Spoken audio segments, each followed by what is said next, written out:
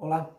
Qual é a manutenção que uma prótese de silicone necessita após a operação? Bem-vindo ao meu canal, Cirurgia Plástica com o Dr. Jacinto. Se esse assunto te interessa, inscreva-se aqui no canal e não perca mais nenhum de nossos vídeos. Deixe seu like também. Isso ajuda a difundir o vídeo para outras pessoas que, como você, também têm dúvidas sobre isso. Qual é a manutenção que eu devo fazer após ter feito a cirurgia?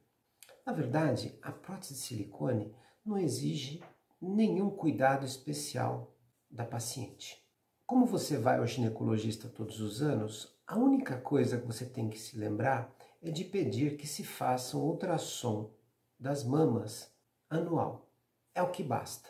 Nesse ultrassom, além de ver sua mama, o ultrassonografista vai ver a qualidade da prótese, se ela está em ordem, se ela tem sinais de ruptura, se tem líquidos ali dentro. Não tendo nada disso, não há nada com que se preocupar. Você só volta lá no outro ano. É só isso. Uma vez por ano, fazer um ultrassom da prótese. Para manter as próteses onde seu cirurgião deixou, é interessante você cuidar para não usar sutiãs apertados. O sutiã muito apertado tira a prótese do lugar, empurra as duas próteses para o meio. Eu não estou dizendo que você não pode usar um sutiã apertado nunca. Se você for para uma festa, um casamento, um evento qualquer e ficar 4, 5 horas com aquilo, não tem problema nenhum. O que traz problema é manter aquela pressão todo dia, um dia atrás do outro, o dia inteiro. Outras mulheres têm a seguinte dúvida: se eu não usar o sutiã, a mama vai cair? Provavelmente não. E se ela tiver que cair, com sutiã ou sem sutiã, sua mama vai ficar frouxa mesmo. Então, não há obrigatoriedade de usar o sutiã.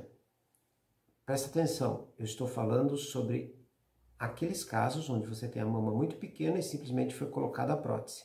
No caso de levantamento de mama, cirurgia plástica de mama com prótese, é outra história, precisa usar o sutiã sim.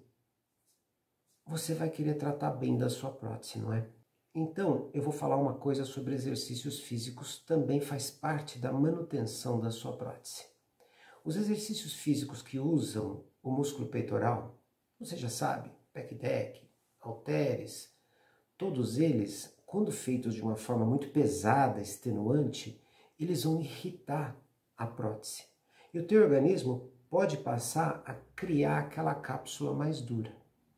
Então, após a colocação da prótese, não quer dizer que você não possa fazer exercício com os braços, com o músculo peitoral, você pode fazer o que quiser. São só aqueles exercícios mais pesados que devem ser evitados. E se eu notar minha mama mais dura depois de vários anos da operação? Ora, do mesma forma que você faz o seu ultrassom todo ano, e se tiver um problema, você vai a seu cirurgião, é a mesma coisa. Existem formas de tratar esse endurecimento que existe, clínicas. E se não funcionar, o seu cirurgião é quem vai ter condição de dizer para você qual é a alternativa cirúrgica para resolver esse problema. Tudo entendido?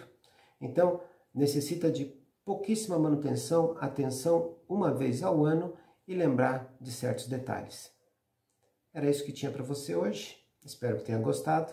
Nos vemos no próximo vídeo. Muito obrigado.